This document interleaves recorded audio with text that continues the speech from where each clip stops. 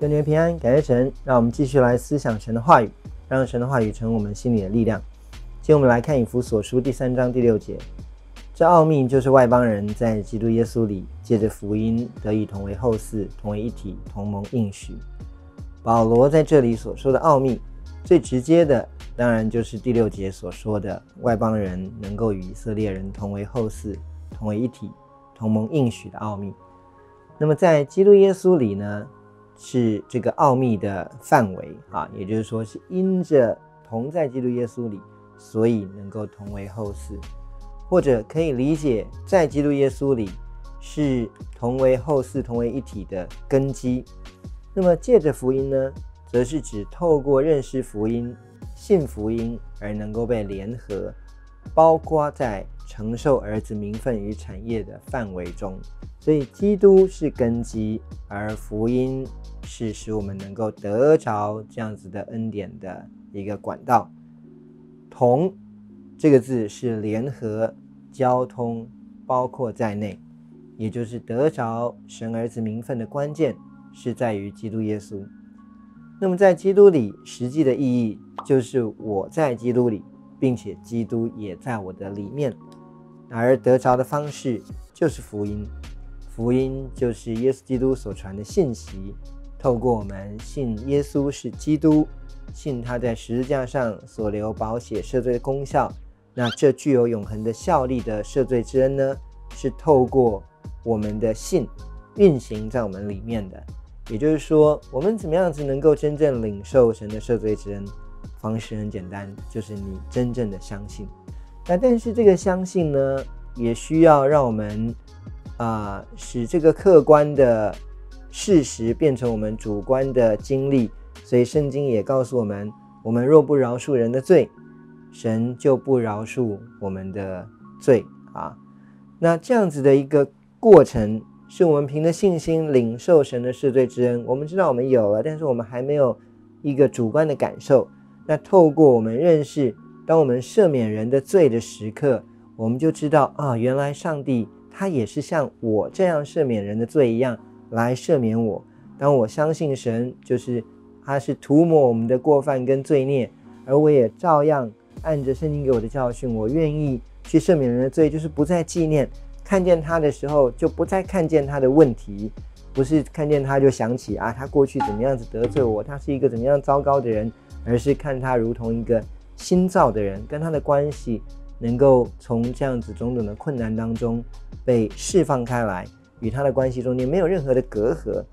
当我们得着这样的自由，认识这样我们赦免人的罪，我们就更深的明白神赦免我们的罪是如何，以至于我们对于神的赦罪之恩就能够更有把握。我们如果没有去赦免人的罪，其实神给我们的赦罪之恩，对我们而言，它就永远是一个我愿意相信，我愿意接受，我也愿意这样子去理解，但是我始终没有办法很真实的。领受到的一个状态，那一件事情要能够成就，它是需要有客观的事实以及主观的领受跟感知。也就是说啊，上帝是存在的，这是客观的事实。但对我而言，神在不在呢？这就需要我有主观的领受跟感知啊。那么以神为我们预备的救恩而言，救恩的恩典。透过耶稣基督在十字架上为，我们所流的宝血已经是客观的存在了。那要让这客观存在的事实成为我主观的感受，关键就在于信。我们是信而受洗，受洗就是一个宣告。我们是信而遵行神的话语，遵行神的话语就是让我能够啊信入基督，信得基督的过程。我们因信而忍耐在神所预备的环境当中，我们所得的应许。就是能够与基督同为后嗣，同为一体，同盟应许。所以在基督耶稣里，我们都是承受产业的，这是一个位分。而我们与弟兄姐妹彼此互有关联，这是这个关系。我们是彼此需要、彼此扶持的，也是一起领受应许的。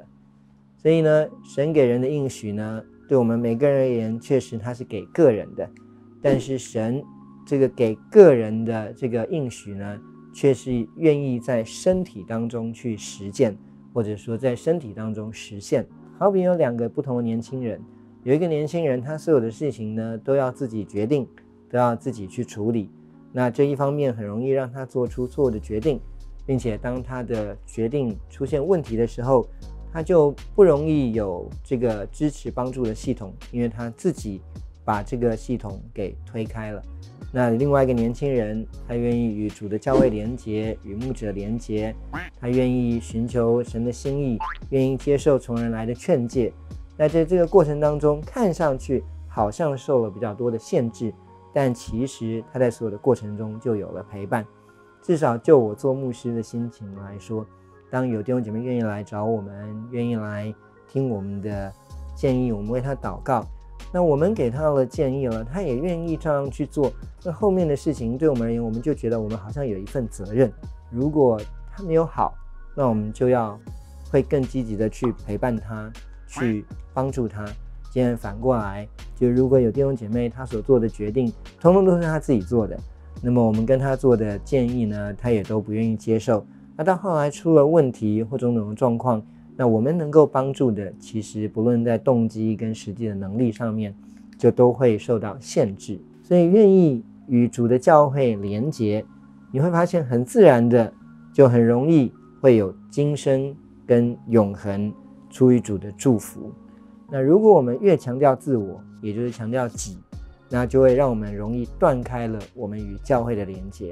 那事实上，当人断开了与教会的连接，啊，不论他认为哈，他与上帝之间的关系多么的亲密，其实他与神之间的连接也已经相当程度的被断开来了。因为基督是教会的头，神对于属神儿女的啊心意或是恩典，更大的部分其实是连接于整个身体的里面。虽然我们有的时候待在身体里面会觉得有这个不舒服，那个人让我不舒服，这个事情让我不满意。但是，这往往正是上帝美好的旨意，要使我们的生命能够真正的得着更新，得着祝福。求神帮助我们，让我们认识真理的奥秘，认识基督的奥秘。祝福大家有美好一天，愿主与每位同在。谢谢大家。